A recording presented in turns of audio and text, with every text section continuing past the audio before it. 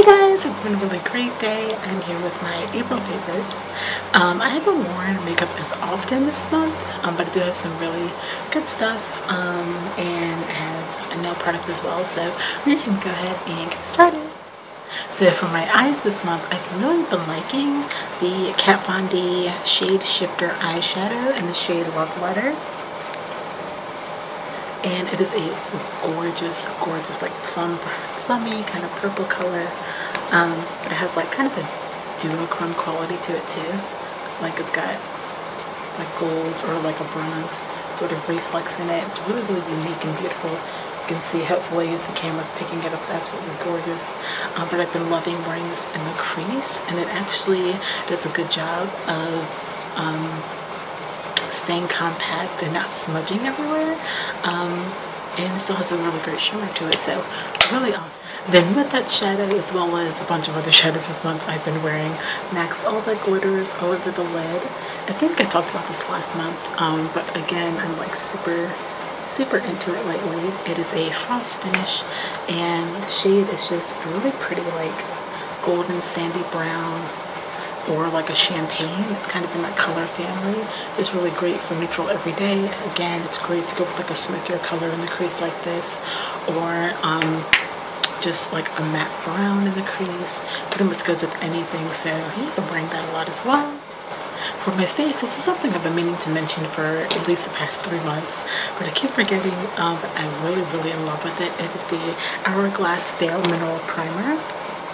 This was a point perk that I got from Sephora and it is really, really awesome.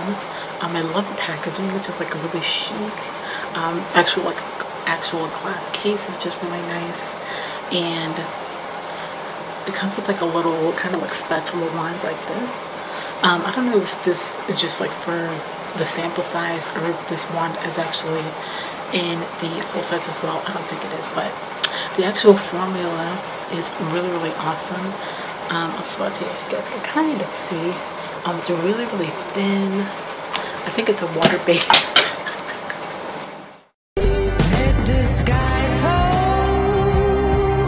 it's really, really light. It blends in like nobody's business super super easy. Um, like I said it doesn't weigh down your face it doesn't feel sticky or anything like that. Um, it really helps to smooth out your pores. It almost has like a velvety finish to it. It's really awesome different than any other primer I've tried and I love it. So definitely I wanted to mention that.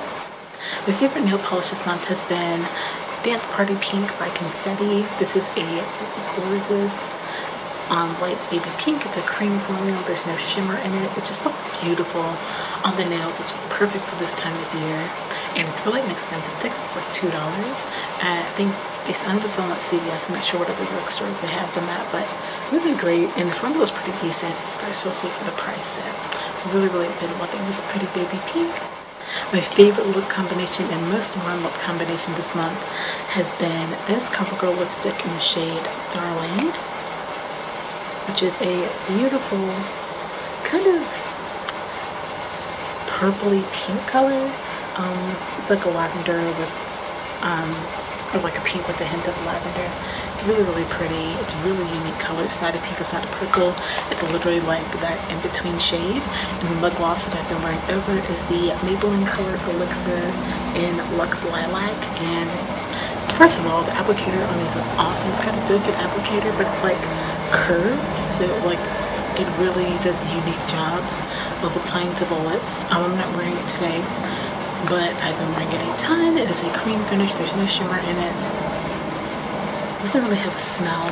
Um, I love the packaging as well. It's really nice and compact so it does take of room in your makeup bag um, and it just looks really really nice on so I'm loving that and lastly, my most worn blush this month has been the Milani Baked Blush in the shade Luminoso. It is so gorgeous.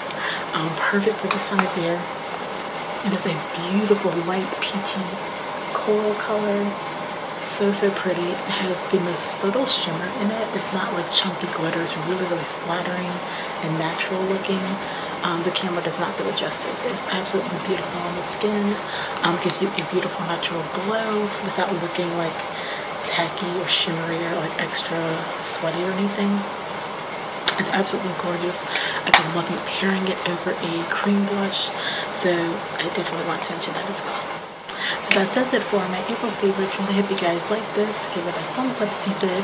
Also leave a comment down below letting me know what your favorite beauty products have been this month. And I'm going back to uploading once a week uh, for the time being. If you want to hear more about that, um, just go to my vlog channel. I explained that in one of my last vlogs. But yeah, again, hope you guys liked it. Um, have an awesome rest of your week. And I'll see you soon. Bye! This is my heartbeat song Gonna play it. Been so long I forgot how to turn it up